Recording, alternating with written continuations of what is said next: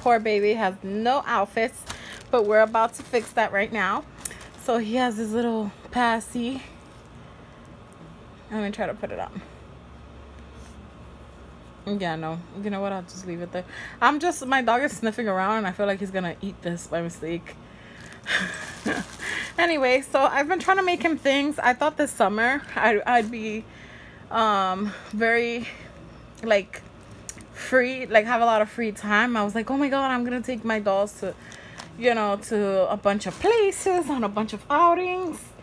Well turns out summer is when family wants to go out to the beach and the pools and all that stuff.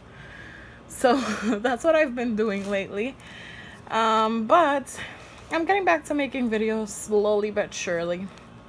So here's remington. Poor guy has no outfits the only thing I managed to do was a little bandana or whatever you want to call it. So let's get, let's start opening. Okay, so there's nothing else in the blue baggie, so I'm just going to take that out. That is so cute.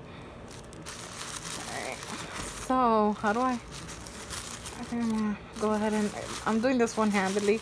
That's another thing, my um, tripod. I need a tripod that can hold my phone because I can't hold my phone.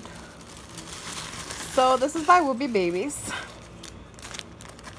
Oh my goodness. She definitely changed her style. Look at this. Isn't this cute? Follow me on Instagram.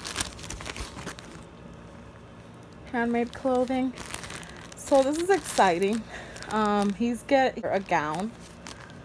So he has a gown. Comes with two little booties and a hat. Just so cute.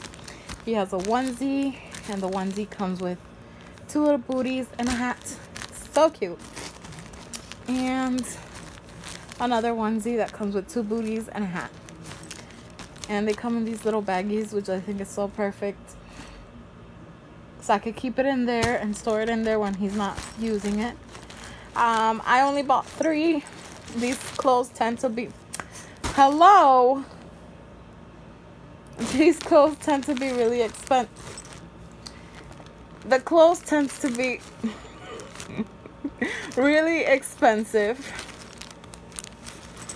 And um, I wanted to make sure they fit because these are five inches and Remington Remington is four inches. So sometimes like when I buy the outfits that are size 10 inches long for Kennedy. They tend to be tight, so I'm hoping that these are tight and fit him well.